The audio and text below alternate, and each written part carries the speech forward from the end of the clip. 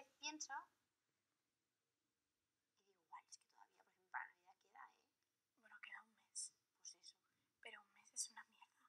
O sea, es, es una regla, es solo. Es que siempre pienso en reglas. Es el- O sea, es una regla. De hecho, yo la próxima vez que tenga la regla, quedarán 10 días para Navidad. Y la próxima vez que tenga la regla será el Yo sé- 15 de diciembre. Para, que cállate un momento. semanas. Dos, dos.